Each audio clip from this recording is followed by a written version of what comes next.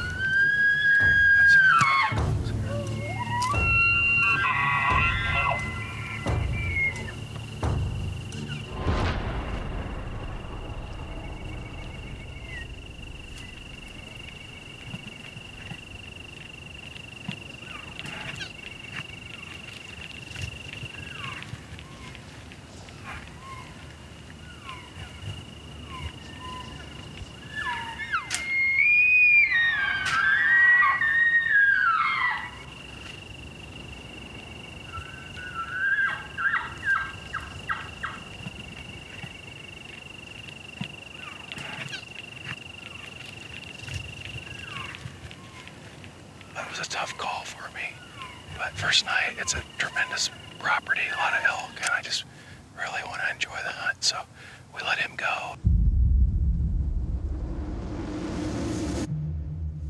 I like the pursuit of a mature bull and doing what needs to be done to harvest a mature animal.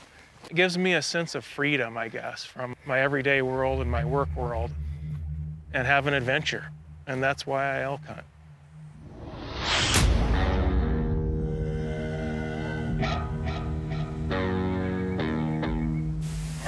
That still might come to the bottom. We don't know. Be ready to go. We gotta make a move somehow.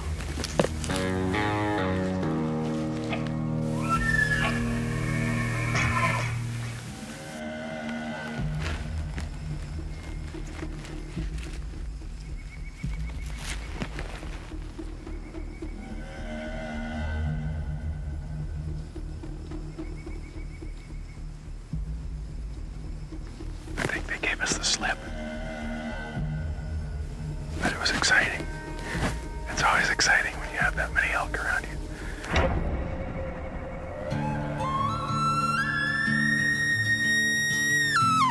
I think it was back in 1995. I had a good friend, a hunting buddy, um, tell me about the Elk Foundation. I really didn't know about it back then. Really emphasized the fact that, you know, without um, conservation, the elk hunting as we knew it back then may not exist in the future.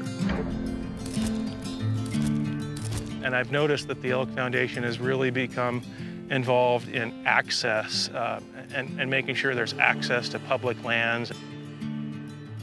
My son was very fortunate uh, three years ago to draw a bighorn sheep tag in north central Montana. And it was really the Elk Foundation's access point that allowed my son and I to get into that public land, have a phenomenal hunt, and he, you know, he, he was able to harvest a, you know, just a tremendous bighorn sheep. And it was really all due to the fact that the Elk Foundation had used its funding, the funding that we provide as members, to secure that uh, public land access.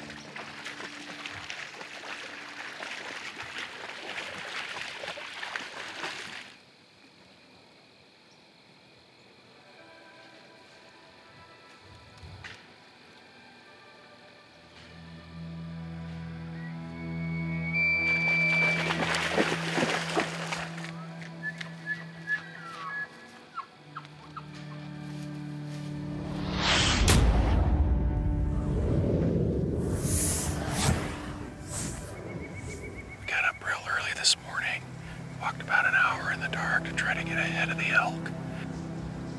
It's gonna be a great day. I think that's the same bull we saw yesterday.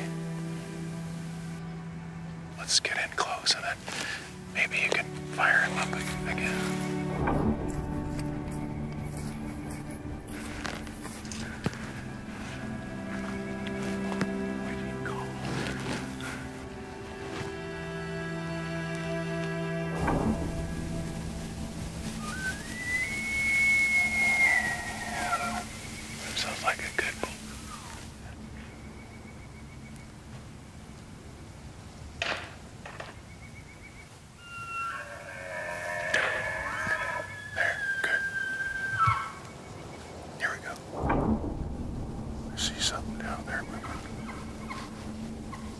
I see him.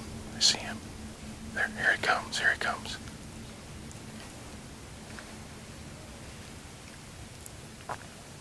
There he is. He's coming. He's coming.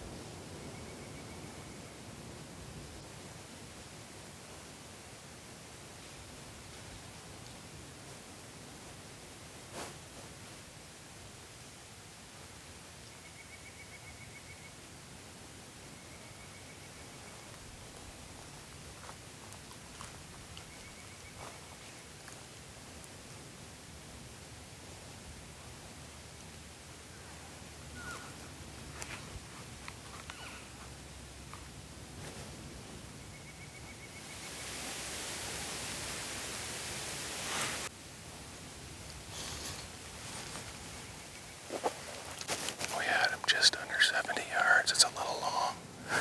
With the wind and stuff, they're still milling around, but he here.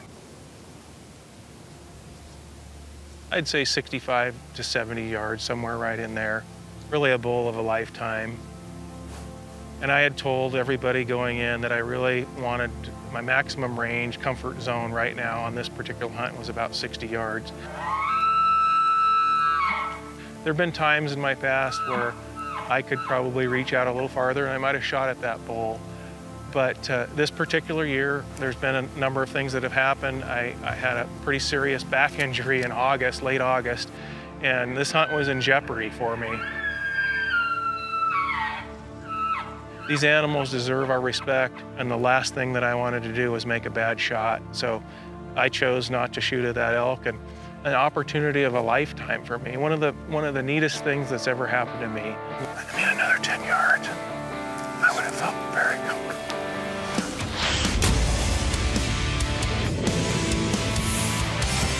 If you enjoy elk hunting and you enjoy the places that elk roam, and you're not a member of the Elk Foundation, I would encourage you to first join, be a member, and then if you're already a member, I would I would really appeal for you to try volunteering, try getting involved in your local chapter.